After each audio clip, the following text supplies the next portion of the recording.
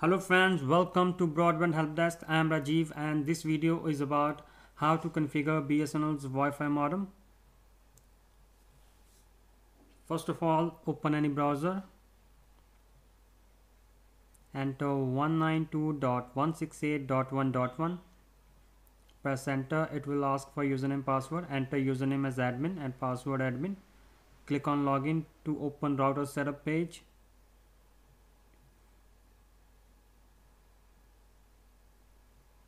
Okay now go to interface setup and fill username password provided by your ISP for example I'm filling here username as username and password as password.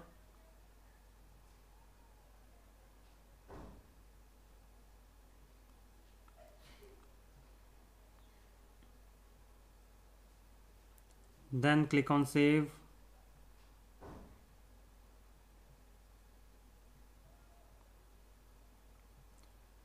click on wireless for Wi-Fi settings.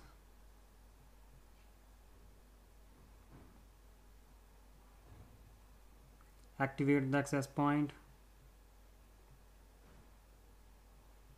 And then scroll down. Edit SSID this is your Wi-Fi network name.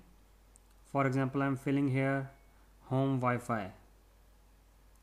And fill password in pre-shared key this is your Wi-Fi password. I'm filling here my Wi-Fi password and click on save.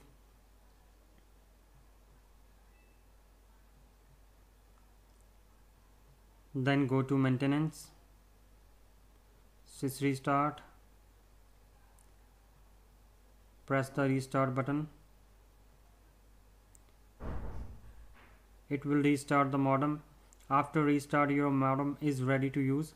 Thank you for watching this video Kindly subscribe to my channel on YouTube to update your knowledge on broadband. Thank you.